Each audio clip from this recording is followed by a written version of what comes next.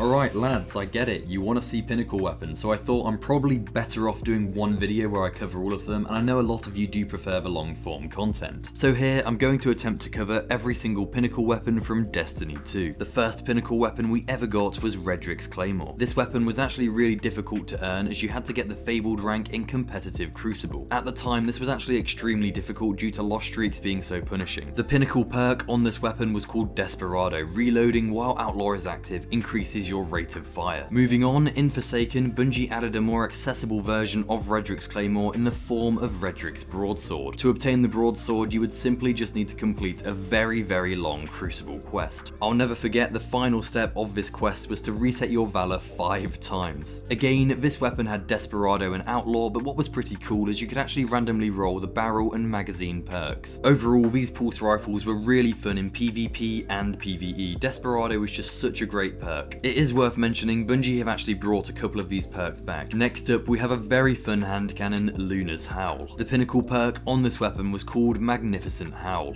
This perk states, rapidly landing two precision shots increases the next shot's damage and range. As this was a crucible weapon, you would need to complete a pretty long quest, and at the end, you would have to reach rank Fabled. Now, I can't stress how good this thing was in Crucible, the only problem was it wasn't very accessible, which leads us on to our next weapon, the Not Forgotten. Essentially, this was a variant of the Luna's Howl you could obtain by reaching rank Legend in the Glory playlist. Again, this weapon would have magnificent Howl and Zen moment, but what was different about it is you actually got extended barrel and also accurized rounds. Again, these two hand cannons were phenomenal in Crucible. Unfortunately, I couldn't get any gameplay of the Not Forgotten as I actually never managed to get it. Moving on, we have the Loaded Question. Now, this was a Vanguard pinnacle weapon which actually had the unique perk Reservoir Burst. When your magazine was full, your next burst would deal additional damage and also cause enemies to explode. Then we have Breakneck, which was a top tier auto rifle which was unlocked via a Gambit pursuit. This weapon was so good for ad clearing mainly because of its unique pinnacle perk. Onslaught simply states rate of fire increases for each stack of Rampage. As you can see from the gameplay, as I stack Rampage, my rate of fire gets so much faster and this thing was just so so good in PvE. The Oxygen SR3 was a Vanguard Solar Scout Rifle. The pinnacle perk on this weapon allowed Dragonfly to deal more damage based on the number of precision hits dealt beforehand. I haven't really got much to say about this scout rifle, as you can see the Dragonfly perk is pretty fun in PvE, but I didn't really use it all too much. 21% Delirium was a pinnacle Gambit machine gun. This machine gun had such a cool perk called Killing Tally. This perk would simply increase your damage when you got kills until the weapon was stowed or reloaded. This was just such a great perk as it literally just gave you a flat damage increase. As you can see from the gameplay again, this weapon is just so good in PvE. Moving on, we have my favourite SMG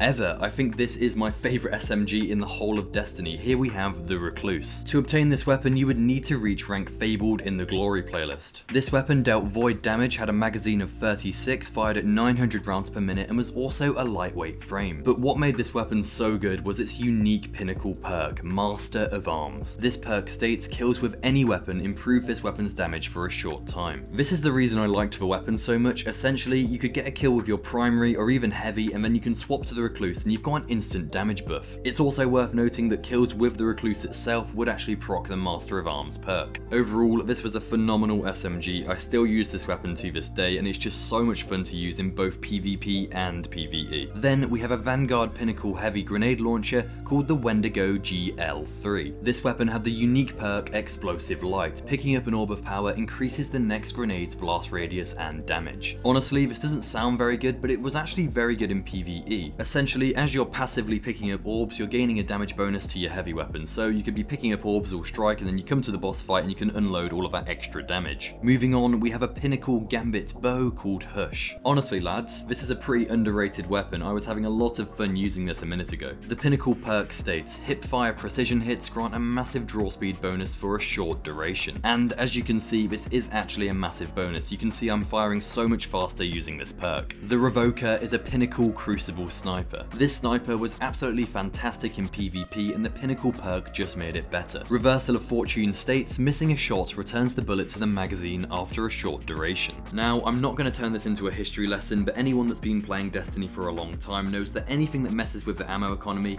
breaks the game. Although, the Revoker was a very, very fun weapon to use. Right, so I think that's all the pinnacle weapons covered. Let's just double check. That's all the Vanguard ones, all the Gambit ones. Yeah, I think we've just about done it. ạ.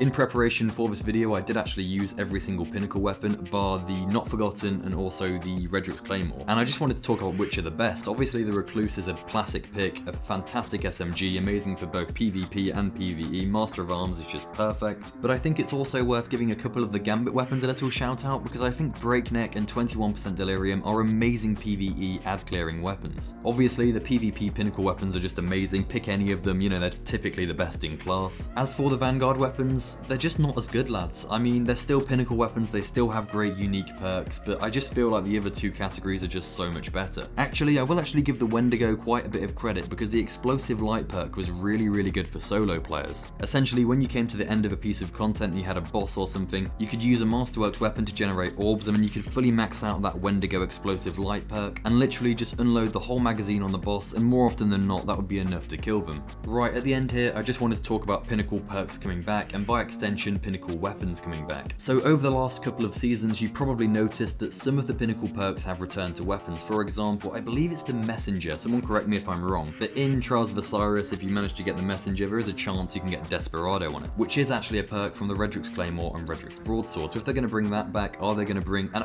oh I think we also got Reservoir Burst. So that's from the loaded question, and I believe that's on the Null Composure. But where I stand on Pinnacle weapons is they're some of my favourite weapons ever added to Destiny. Like I think the Recluse is really up there. But the only problem is sometimes these weapons can be too powerful, and without sunsetting, you know, we kind of get this like power creep, and then the next Pinnacle weapon has to be better and better and better. And it gets to a point where why would you use something else over the Recluse? So it kind of had to be sunset. Maybe they could bring that perk back, but I just feel like Master of Arms is um, slightly too strong. I don't know if I, will try and get some gameplay, but as you can see, it's basically Rampage on steroids whenever you get a kill. I think a great alternative would be Pursuit Exotics, as you could still have that unique perk, but it wouldn't be too strong because it's taking up your exotic slot. The only problem with this solution is I believe exotics take quite a bit of production time, and for Bungie it might be a bit of a pain to every season make an extra exotic just for pursuits. And I do think Pinnacle weapons did fit that middle ground quite perfectly, but the only problem was you could literally have an exotic perk on a legendary, which kind of broke the game. Anyway guys, let me know what you think to Pinnacle perks, whether or not they should come back, what you thought of them. But anyway, thank you so much for watching. I am going to plug a little bit at the end here. We've got a Discord, we've got a TikTok, and that's all going to be in the description. Thank you so much for watching. Please subscribe, and goodbye.